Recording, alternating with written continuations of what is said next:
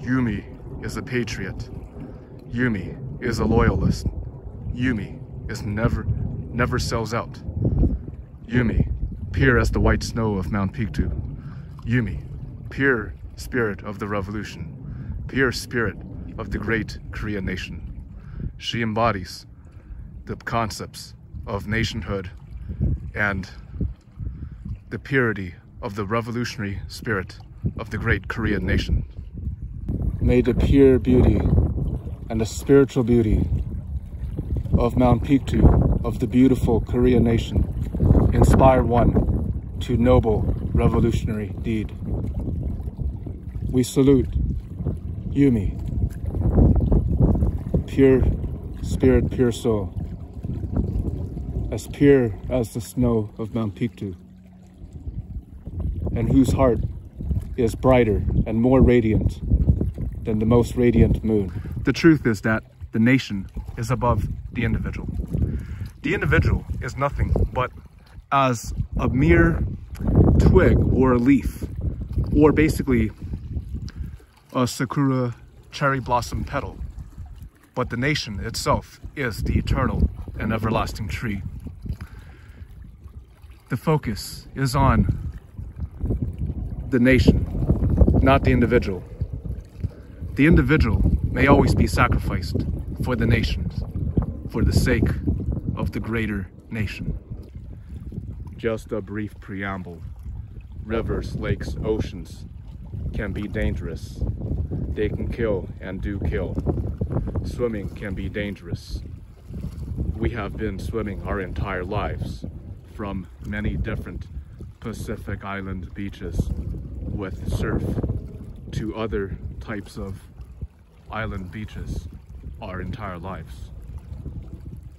People should not mess with nature. We say that because many people underestimate nature.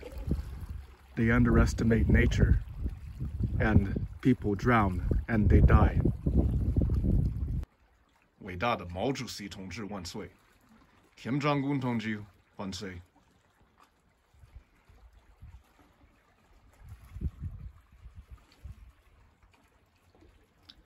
Meditations on the Great Helmsman.